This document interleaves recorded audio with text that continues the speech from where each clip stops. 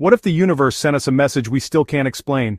In 2007, astronomers detected a burst from deep space. Just milliseconds long but brighter than a billion suns.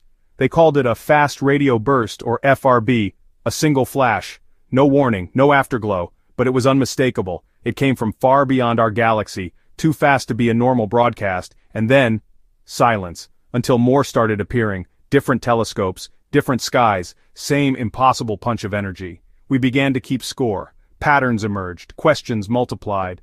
Some of these signals repeat, like cosmic Morse code. Others never come back. A few even follow rhythms, weeks quiet, then a burst of chatter. We can measure their dispersion, trace their path through intergalactic gas. But the story refuses to be simple. Scientists guessed, exploding stars, black holes, even alien technology.